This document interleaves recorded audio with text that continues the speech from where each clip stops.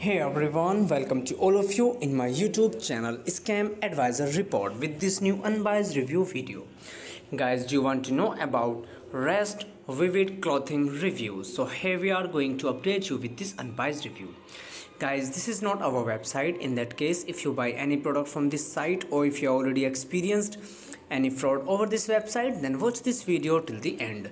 In the end of the video you know the legitimacy of the site and i will share the way how to get your money back. So stay tuned with us and don't miss the any point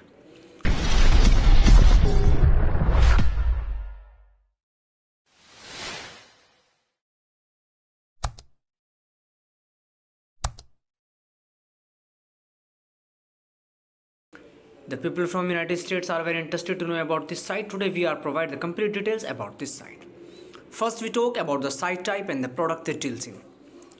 It is an online shopping store which offering multiple types of clothing collections like festivals, faith, mature western apparel, animals for kids, order tracking and much more. As you can see here, if you are interested, you can visit their official site and check them out. But before going further it is request to all of you to like share and subscribe our channel.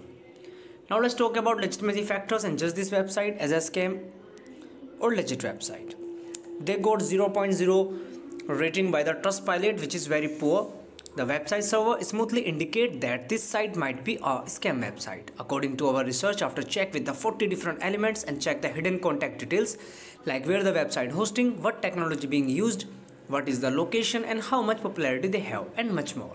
So in the conclusion, based on all the informations gathered, the website appears to be a scam website. But we also recommend make a right conclusion on the basis of manually research.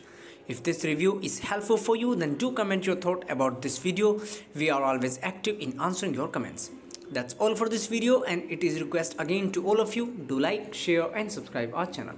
Have a nice day. Take care. Bye bye.